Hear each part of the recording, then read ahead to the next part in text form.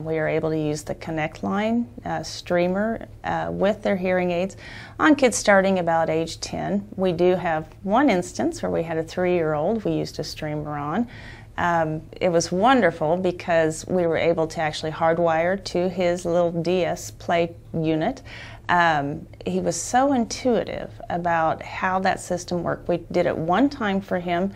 Um, and he just his eyes lit up when he was able to hear his DS in both ears in stereo. This little three-year-old boy, um, he was actually wearing the streamer while he's playing his DS, and uh, mom's cell phone rang, and it had already been paired to her cell phone, and of course it rang in his ears, and he intuitively looks down, sees the green button, pushes it, and starts talking to dad. Mom was um, extremely touched, uh, brought her to tears because he had not been able to use the phone to hear his dad before.